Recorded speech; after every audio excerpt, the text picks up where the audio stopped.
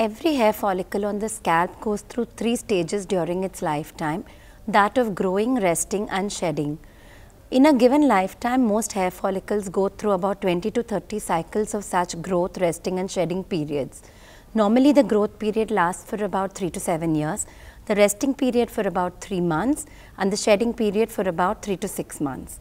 Now, the important thing to remember is very rarely do all the hair follicles start from the growing phase, move into the resting phase and progress to the shedding phase. If this happened, we would all grow bald periodically. So, that does not happen. Usually about 50 to 70 percent hairs are growing while the remaining could be resting or shedding.